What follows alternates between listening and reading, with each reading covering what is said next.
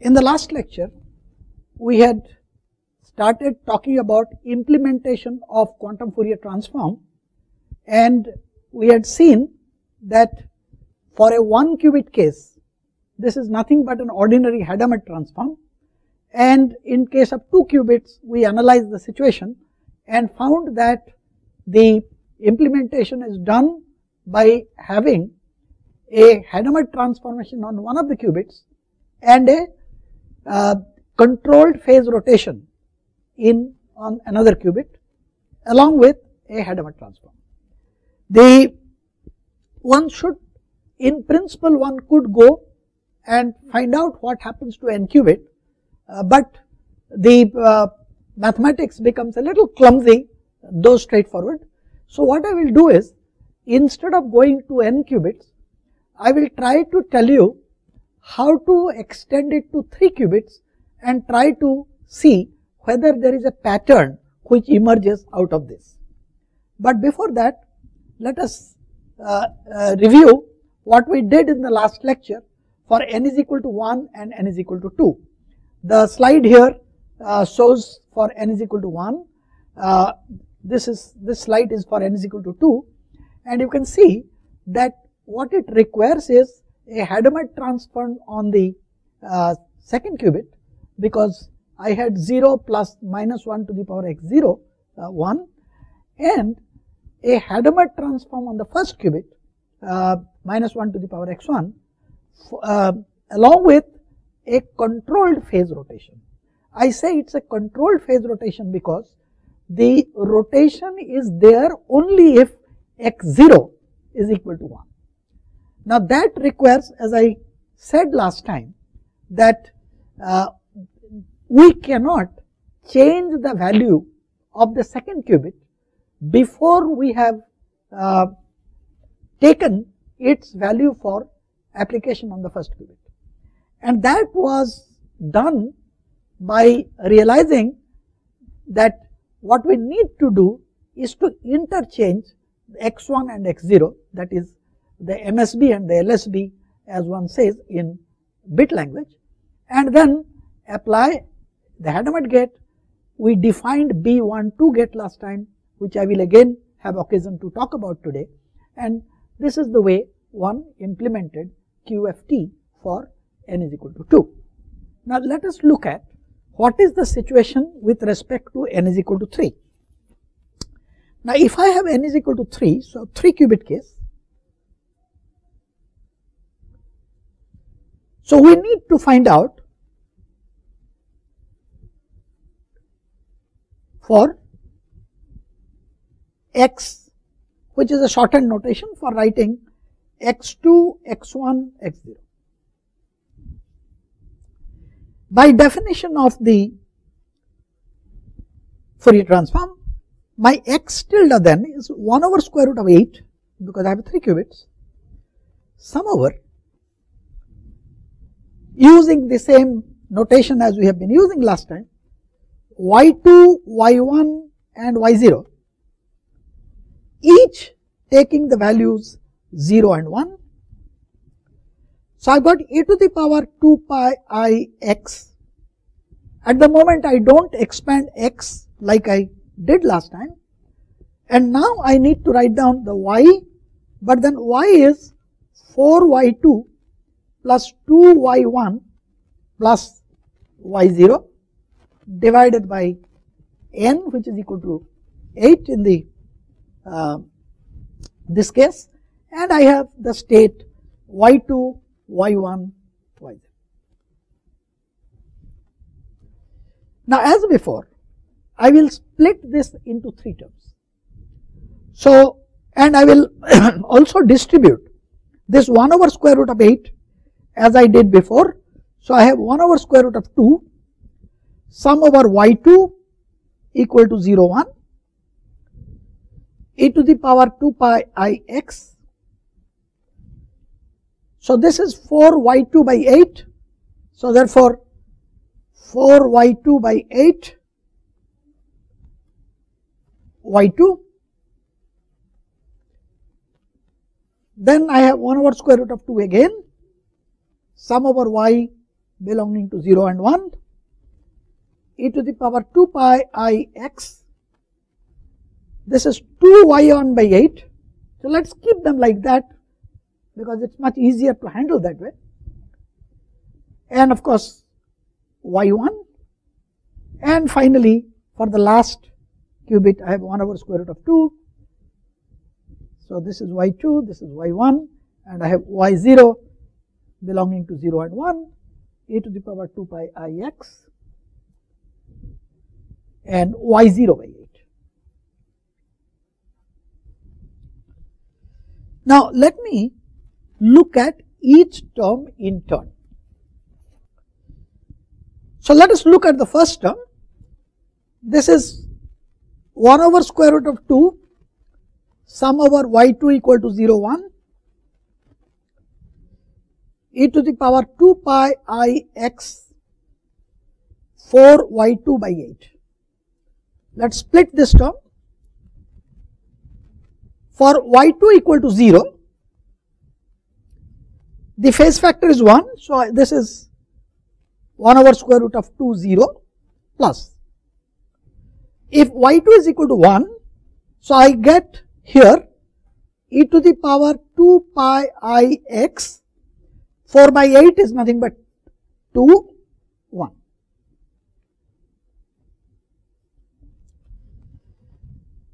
This is the first term there and let us try to see what this term actually is. Now this term is 1 over square root of 2, 0.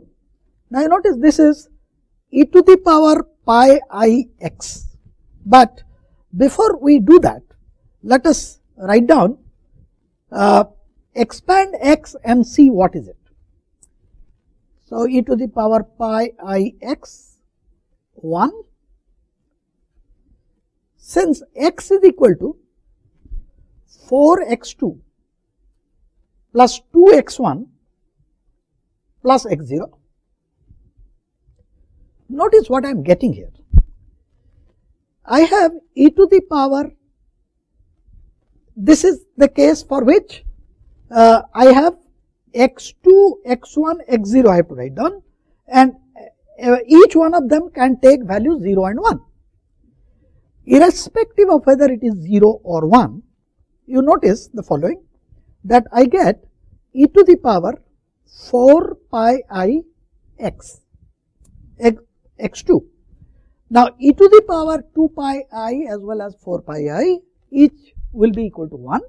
So, therefore, both for x2 and for x1 taking the value 0 and 1, the prefactor here will become 1 and a phase factor which depends only on x 0. So, what I get is this that this is equal to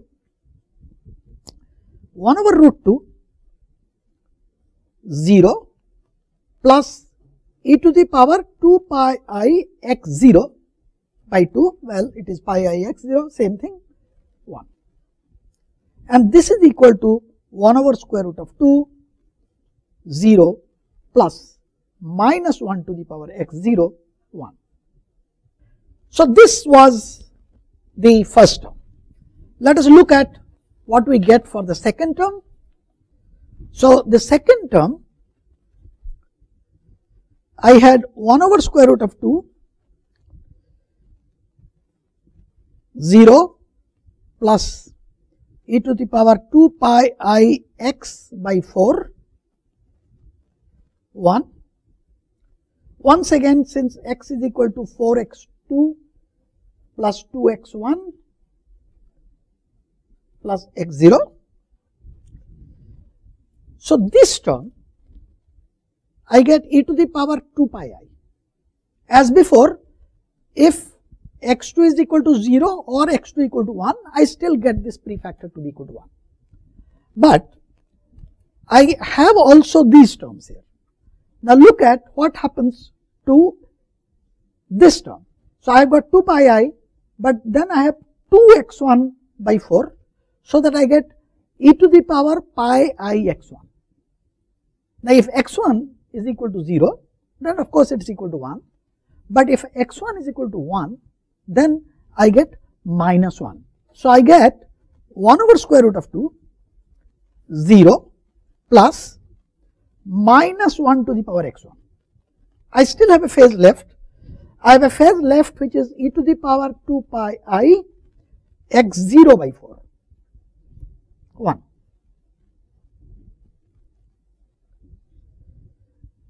So, how did we implement this? So, once again this is the Hadamard transform along with a phase rotation of 2 pi i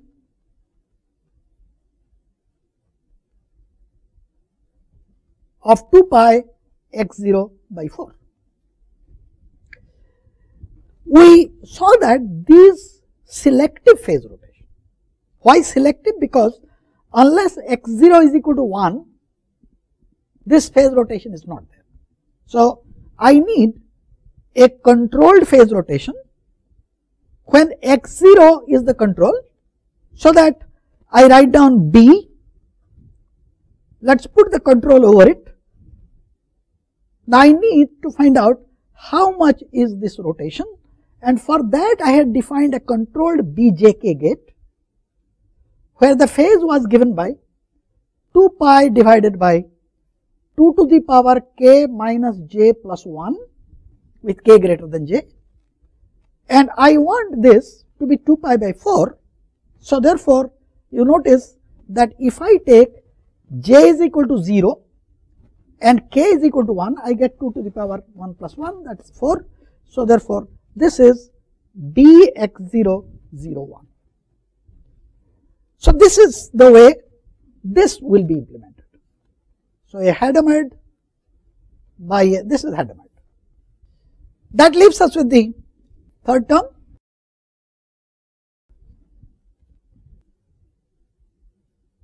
so we said y0 equal to 0 1 e to the power 2 pi i x and let us expand the x 4 x 2 plus 2 x 1 plus x 0 into y 0 divided by 8 y 0 and as before I split it up into two terms y0 equal to 0 and y0 equal to 1. When y0 equal to 0 of course I get a 0 plus e to the power 2 pi i 4x2 plus 2x1 plus x0 by 8. 1. So let us examine this again now this time you notice, I have got here, well once again if x2 is equal to 0, then of course I do not have anything from here because e to the power 0 is equal to 1. Now if x2 is equal to 1, then I get e to the power pi i 8 by 8. So this term gives me 0 plus minus 1 to the power x2. Let us come to x1. Once again if x1 is equal to 0 I do not have any phase contribution. But if x1 is equal to 1 I have a phase term which is e to the power pi 2 pi i x1 by 4.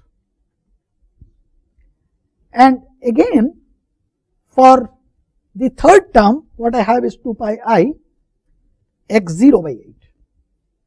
1. Now let us look at what these are. So this as before is a Hadamard transform on the first qubit which is the x, x2 qubit.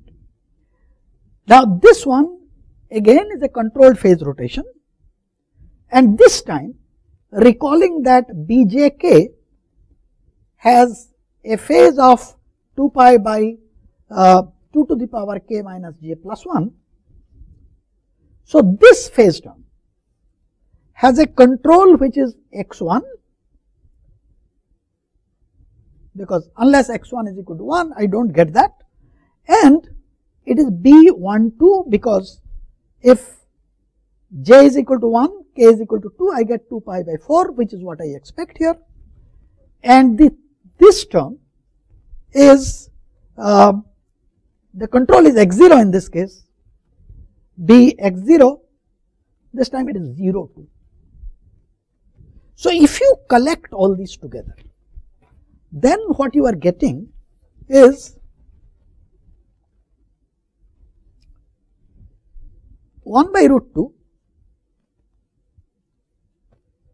0 plus minus 1 to the power x 0 1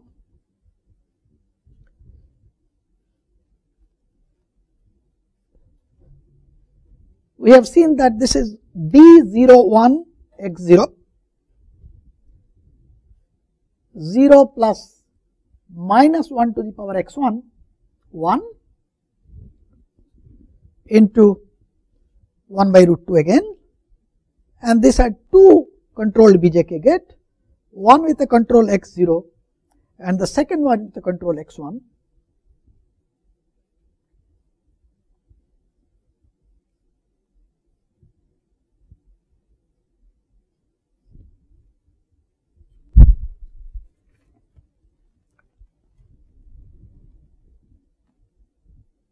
Now, I had commented it on it last time, but look at uh, this slide which summarizes our results completely. Uh, so, the first term is uh, very simple. I have a Hadamard gate on the third qubit. Now, this is this is important to realize that the Hadamard gate is appearing on the last qubit x 0 and so if I do that now to begin with then I cannot use the value of x0 before application of these gates to be used as a control. So, I can't do it. The second one is has a Hadamard gate with respect to the uh, second qubit, but again x0 being control there is a phase rotation and uh, this so therefore this can be implemented on the second qubit uh, by a controlled BJK as we explained little while back. The third term as we have seen is uh, a Hadamard on the first qubit and along with two controlled BJK operation. What it tells us is the following that we need to apply the gates in such an order that the control bits on BJK xi are not changed by transformation before uh, they are uh, applied. That is, uh, I can't change a particular xi and later on expect the same old xi to be used as a control. Now, what it requires is the following that in case of 3 qubits, you interchange the first and the third qubit. And this slide here explains to you how. See the thing is this that I have, so this is what I start with. I start with x2, x1 and x0 and uh, the second qubit remains without change and I interchange the locations of x0 and x1, x2. Now, so therefore, on this line I now carry x0 on this line I now carry x2. The middle line still remains uh, x1 as expected. So now what I am doing now is pass the Hadamard. Now when I am doing the Hadamard gate, I am actually doing a Hadamard on x2, which is my first term in the expansion that I showed you. After that, I need a x1 as the control and applied a B12, uh, the controlled BJK gate I told you. And finally, on the same uh, x2, I use x0 as the control because this line is now x0 and apply a controlled B02 gate. So therefore, x2 is now done. And when I did that, I did not change the values of x0 and x1 in the process because this is what I retained. Now comes the uh, action on my bit x1, but remember nothing has been done to x0. So what I do is first apply the Hadamard gate on x1, which is what I required, and then with the x0 as the control, I use the B01 gate. And having done all that, I finally take up x0 and apply the Hadamard gate and what I get here now are my Fourier transform of the 3 qubit case. Now what do you do now for n qubits? Now in principle this can be uh, generalized to n qubits by means of a process of induction. The algebra happens to be a little complicated, so therefore I will not go into it, but let me sort of tell you what you actually do. What you actually do is to realize that the process can be essentially performed by a Hadamard followed by a sequence of BJK operation on that qubit. But before I do that, I must previously permute the original states. In this particular case of 3 qubit, you realize that if I um, permuted x2, x1 and x0 and reverse them, the middle one remains the same. But for n qubit, it becomes a little more complicated and I permute them and keeping in mind that the order in which the control of the control BJK gate will appear will be different. And with that in mind, I can implement the Fourier transform corresponding to any number of qubits. So, in this lecture, what I have done is to tell you that the Fourier transform can be implemented by a unitary operation and by using basic gates which are my Hadamard gates and the controlled BJK gate. Each one of them can be implemented by a unitary operation. With this, we have completed our requirement for taking on the factorization problem. In the next lecture, we will be using these concepts that we have developed for uh, an algorithm which is known as Shor's factorization algorithm.